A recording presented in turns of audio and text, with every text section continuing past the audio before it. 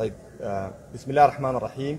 الحمد لله رب العالمين والصلاة والسلام على أشرف المرسلين آه، في إطار اللقاءات التي تعقدها مبادرة آه، نداء أهل السودان مع الفاعلين الدوليين. كان اليوم اللقاء مع سفير الاتحاد الأفريقي السفير بلعيش وضم اللقاء عدد من يعني أعضاء المبادرة.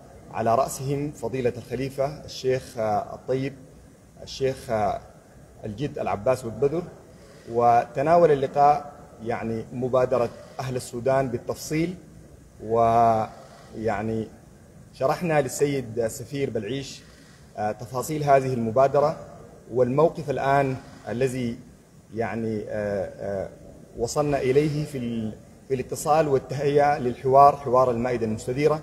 الذي سيعقد في غضون الأيام القليلة القادمة.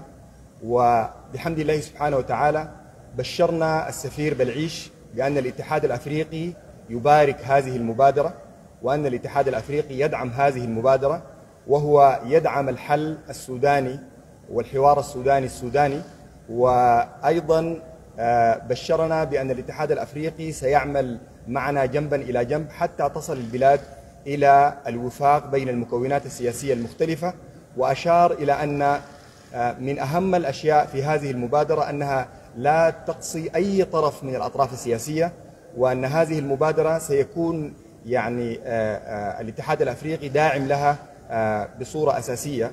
وكان لقاء جيدا ومثمرا واستطعنا فيه أن نصل إلى تفاهمات مشتركة وأن الاتحاد الأفريقي سيكون حاضرا في آه، آه، مؤتمر المائدة المستديرة وأيضا قال بأنه سينقل هذا اللقاء إلى رئيس الاتحاد الأفريقي وإلى آه، يعني مفوضيات الاتحاد الأفريقي المختلفة وأبدى دعمه المطلق لهذه المبادرة وأنها ستكون الحل الذي انتظره السودانيين للخروج من هذه الأزمة التي تطاول أمدها. ونحن بدورنا نشكر الاتحاد الأفريقي ونشكر أيضا يعني آه، دور الاتحاد الأفريقي الذي قام به في في الفترات الماضية كما أمن على أنهم في الاتحاد الأفريقي لديهم أولوية أساسية وهي الحفاظ على سيادة السودان وعلى وحدة السودان آه، أرضا وشعبا. ونسأل الله يعني أن يكون آه، ولي التوفيق في هذه المبادرة. والسلام عليكم ورحمة الله تعالى وبركاته.